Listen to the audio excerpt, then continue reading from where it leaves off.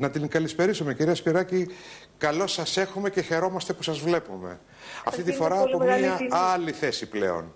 Είναι μεγάλη τιμή για μένα και σας ευχαριστώ πάρα πολύ που με προσκαλέσατε.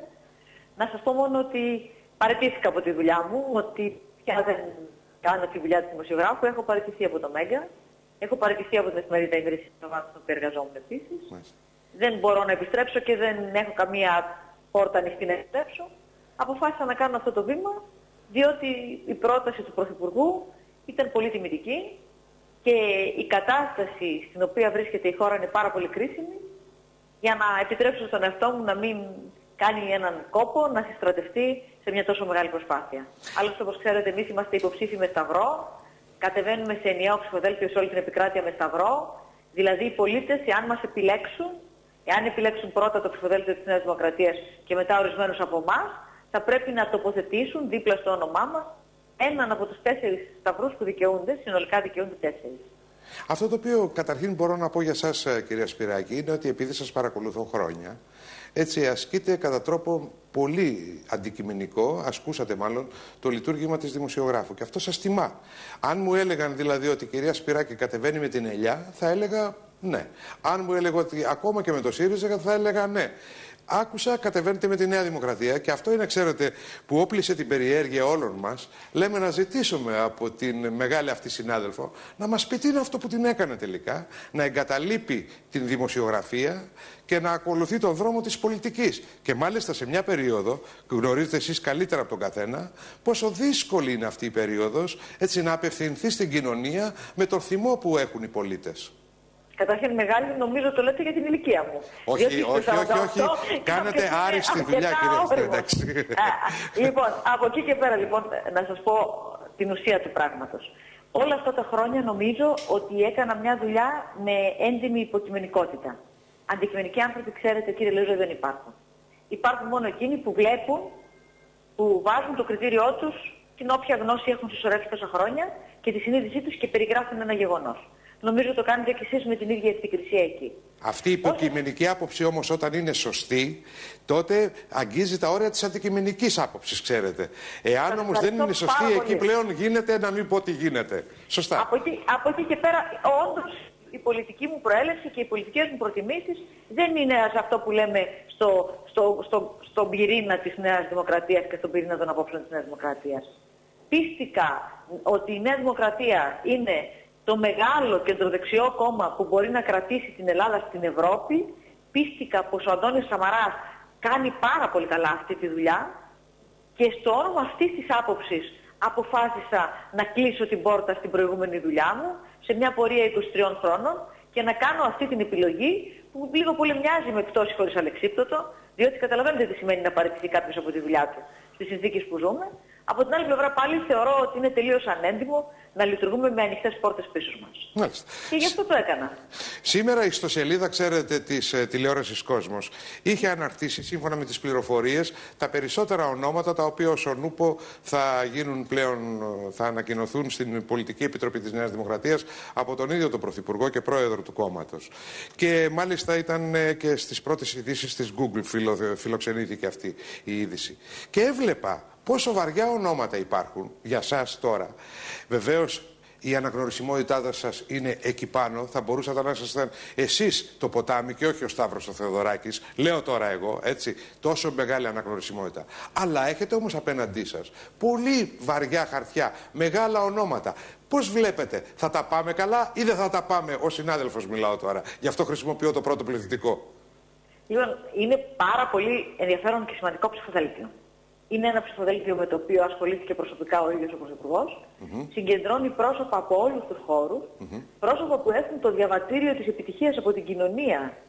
Και αυτό είναι που πραγματικά συμβολίζει σήμερα η Νέα Δημοκρατία. Συμβολίζει δηλαδή το πολιτικό κόμμα πίσω από το οποίο στοιχίζονται οι δυνάμεις της κοινωνίας που θέλουν η χώρα να πάρει τη στροφή. Γιατί πώς αλλιώς κανένας μπορεί να πει ότι κάνει την επιλογή ένας σπουδαίος χειρουργός, ένας σπουδαίος πανεπιστημιακός, μια σπουδαία γυναίκα του αρχείου των Υπουργείων Εξωτερικών, ο αρχηγός της Εθνικής Ομάδος, ο Σταύρος Ξαρχάκος, λέω τώρα διάσπαρτα ονόματα, για να καταλήξω ότι είμαστε εμείς Επίσης κάποιοι άνθρωποι από το χώρο της δημοσιογραφίας που στρατευόμαστε με αυτή την προσπάθεια. Όλο αυτό έχει μια πολύ μεγάλη σημασία. Να πάει ο κόσμος στην κάλπη και να πει ότι η πολιτική της κυβέρνησης μέσα από όλο αυτό το αίμα, τη δυσκολία, mm -hmm. τις παλινοδίες πάρα πολλές φορές, τα λάθη, φαίνεται πως οδηγεί σε ένα αποτέλεσμα. Και το αποτέλεσμα πια δεν είναι ένα αποτέλεσμα θεωρητικό, ξέρετε κύριε Λοΐζο. Έχει συγκεκριμένες πράξεις.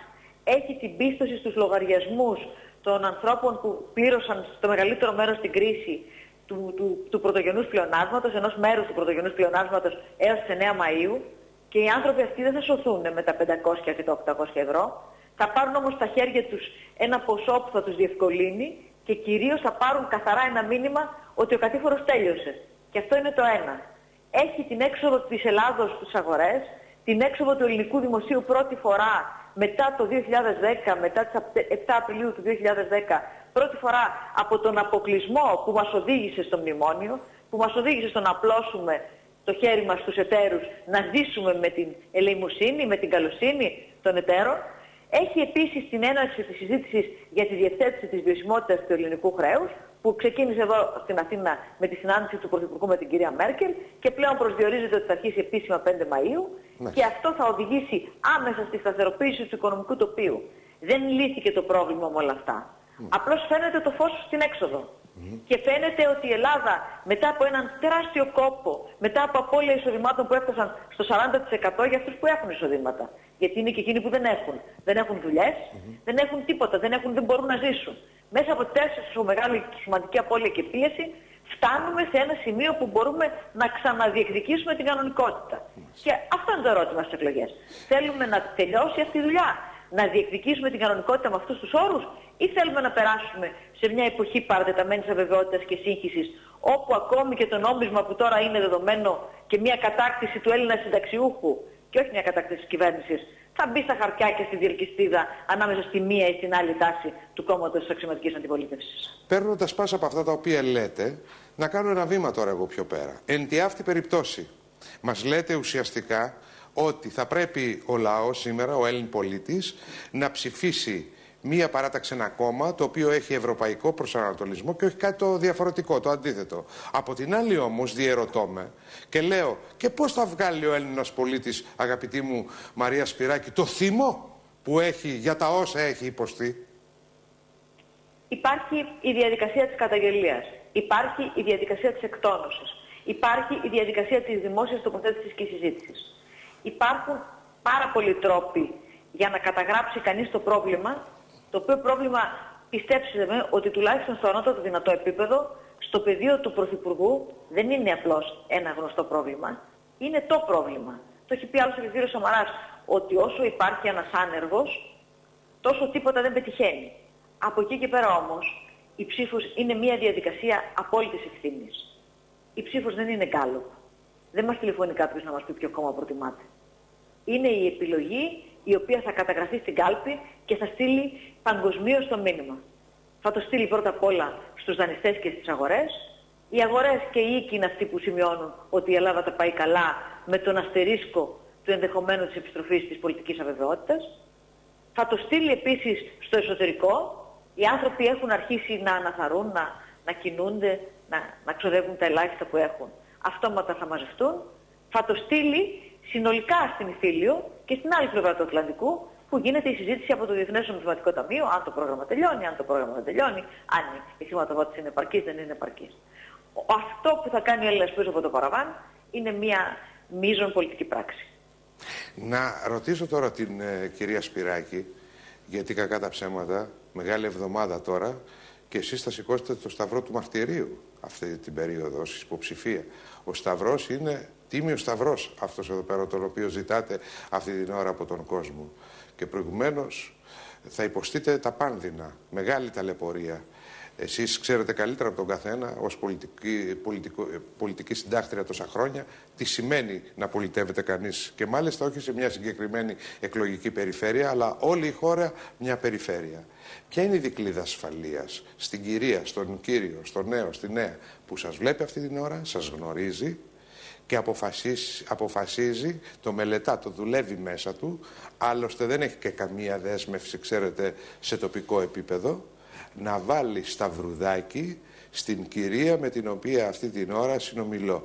Ποια δικλίδα ασφαλείας του προσφέρεται, θα πιάσει τόπο σταυρός; Κοιτάξτε κύριε Λοΐζο, η πρότασή μου, όπως προσπαθώ να σας πω τόση ώρα, είναι ότι οι πολίτες πρέπει να σκεφτούν για το αν θέλουν να επιβραβεύσουν τη δουλειά του Πρωθυπουργού. Αυτό είναι το ερώτημα των ευρωεκλογών και γι' αυτό συστρατεύτηκα για να υπερψηφιστεί το ψηφοδέλτιο της Νέας Δημοκρατίας. Με πολύ μεγάλη μετριοπάθεια θεωρώ πως αυτός είναι ο λόγος για τον οποίο πρέπει να επιλεγεί το ψηφοδέλτιο της Νέας Δημοκρατίας. Σε ό,τι με αφορά, είμαι αυτό που φαίνομαι. Ένας άνθρωπος που δούλεψα πολύ σκληρά, 23 συναπτά χρόνια, νομίζω ότι το βλέπετε, το βλέπατε σε όλη αυτή τη διαδρομή. Ένας άνθρωπος που νομίζω ότι γνωρίζει πώς λαμβάνονται οι αποφάσεις στην Ευρωπαϊκή Ένωση, γιατί γνωρίζω και τα πρόσωπα και τους μηχανισμούς και τις διαδικασίες. Ένας άνθρωπος ο οποίος δεσμεύεται ότι θα ακούει τους ανθρώπους που τον ψηφίζουν στις περιφέρειες που πάει και θα κάνω ό,τι μπορώ για να έρθω και στη Ρόδο και στα Οδεκάνησα για να μπορέσουμε να κουβεντιάσουμε αναλυτικά τα βασικά ζητήματα που έχετε εκεί και που δεσμεύεται απέναντι στους ανθρώπους που τον ψηφίζουν. Ξέρετε, ο Ευρωβουλευτής που θα εκλεγεί από αυτή τη διαδικασία δεν πάει στις Βρυξέλλες με εντολή του αρχηγού. Πάει στις Βρυξέλλες με εντολή του λαού. Και στον κόσμο θα πρέπει να επιστρέψει, στις περιφέρειες θα πρέπει να επιστρέψει και στον καθένα να πει ακριβώς τι έκανε, να απολογηθεί. Και μια και με ρωτάτε προσωπικά, δεν έχω κανένα μεγάλο επίβολο σχέδιο. Θέλω να γίνουν μικρά πράγματα, θέλω να εργαστώ να αρθούν τα εμπόδια για τη χρηματοδότηση των μικρομεσαίων επιχειρήσεων, γιατί πληροφορούμε από πολλούς ότι είναι πάρα πολλά και πάρα πολλές επιχειρήσεις δεν μπορούν να βρουν πρόσβαση στη χρηματοδότηση. Θέλω να αξιοποιηθεί το μέγιστο δυνατό το κοινωνικό ταμείο για τους παιδικούς σταθμούς, τις γυναίκες, εκείνες που εργάζονται, τις γυναίκες που είναι σαν εμένα, που έχουν παιδιά και συγχρόνως πρέπει να είναι όλη μέρα κάπου στο δρόμο ή και λιγότερη από όλη την ημέρα. Ή που διεκδικούν μια θέση εργασίας έστω και part-time και δεν μπορούν να την έχουν γιατί όλο το σύστημα έχει μπλοκάρει. Θέλω να, να προσπαθήσω να αυξηθούν οι δυνατότητες για τους νέους ανθρώπους που ζητούν μαθητεία, εκπαίδευση, μία καταρχήν ε, πρόσβαση στην αγορά εργασίας, ώστε αυτό να γίνει θέση εργασίας. Δεν είναι μεγάλα επίβολα πράγματα αυτά. Είναι όμως νομίζω η καρδιά του προβλήματος μιας κοινωνίας πόνεσε πολύ, που πονάει πολύ και που θέλει να βγει από αυτό, γιατί έτσι νομίζω ότι αποφάσισαν οι Έλληνες, ότι θέλουν να βγουν από αυτό. Το έδειξαν εξάλλου τα αποτελέσματα των αριθμών. Κυρία Σπυράκη, με εντυπωσιάζει το γεγονός ότι σας διακατέχει έτσι μια υπερβολική σεμνότητα, η οποία βεβαίως σας χαρακτηρίζει κιόλα και μπράβο σας, η οποία είναι και αντίστροφη, ξέρετε, αντιστρόφως ανάλογη και του ονοματός σας και της γνώσης σας. Έχετε σκεφτεί κάτι το ενδεχόμενο η Νέα Δημοκρατία να ητηθεί σε αυτές τις ευρωεκλογές, τι θα μπορούσε να σημαίνει.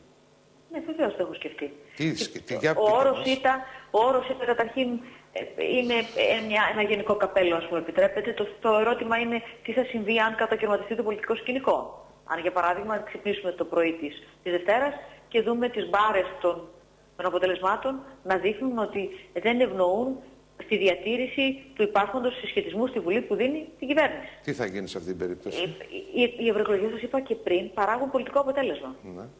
Θα υπάρξει πολιτικό αποτέλεσμα. Αναμφίβολα θα υπάρξει πολιτικό αποτέλεσμα.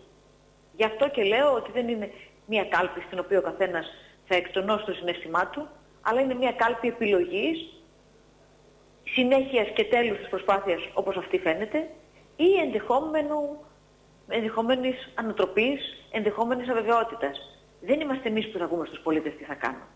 Εμείς παρουσιάζουμε τη γνώμη μας, την άποψή μας, με βάση τα δεδομένα που έχουμε και με βάση την επιλογή που κάναμε. Γι' αυτό και σας είπα και πριν ότι παραιτήθηκα από τις δουλειές μου και δεν δύναμη να επιστρέψω γιατί η, η βασική αρχή της, της ηθικής προβλέπει κάποιος να μην είναι και, και ελεκτής και τιμητής. Ως εκ τούτου λέω ότι τοποθετήθηκα, ότι θεωρώ ότι η Νέα Δημοκρατία είναι το κόμμα της μεγάλης κεντροδεξιάς που θα κρατήσει τη χώρα στην Ευρώπη, ότι η κυβέρνηση αυτή με τον Αντώνη Σαμαρά πρέπει να τελειώσει τη δουλειά και ότι αυτή η δουλειά γίνεται καλά Δηλαδή φέρνει αποτελέσματα. Με όλα όπως σας είπα και πριν, τα προβλήματα και στα φάρμακα και στο γάλα και, και στις, στις δυσλειτουργίες που μπορεί να υπάρχουν. Κανένας δεν είπε ότι όσα συνέβησαν ως τώρα ήταν ένα κοστούμι που έπρεπε να το φορέσει η Ελλάδα. Μάλιστα. Κανένας δεν είπε ακόμη ότι τα διαρθρωτικά όπως εφαρμόστηκαν ήταν όπως θα έπρεπε ίσως να εφαρμοστούν στην Ελλάδα, αν η Ελλάδα είχε λίγο περισσότερο χρόνο να τα εφαρμόσει. Είναι βέβαιο όμως ότι οι αλλαγές έπρεπε να γίνουν και οι αλλαγές αυτές έγιναν υπό ένα καθεστώς πίεσης, καμιά φορά και με πολύ μεγάλη βία. Μένει να σας αξιολογήσει πλέον η ελληνική κοινωνία και ο λαός, οι πολίτες, όταν θα πορευθούν στις κάλπες, να σας αποδώσει δίκαιο. Σας ευχαριστούμε πάρα, πάρα πολύ και θα χαρούμε πάρα πολύ όταν βρεθείτε στη Ρόδο να σας έχουμε και κοντά μας. Σας ευχαριστώ πάρα πολύ όλους. Να θυμίσω μόνο ότι εμείς κατεβαίνουμε όλοι με ένα ενιαίο ψηφοδέλτιο στην επικράτεια, το οποίο θα παρουσιάσει ο Πρωθυπουργός αύριο.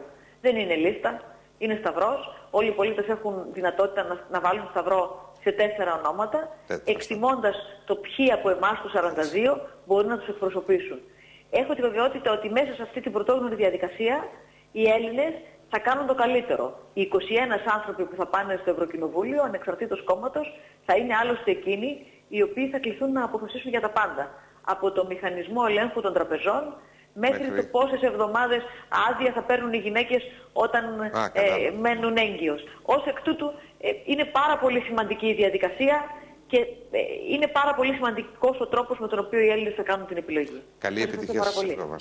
Καλή επιτυχία. Καλή επιτυχία.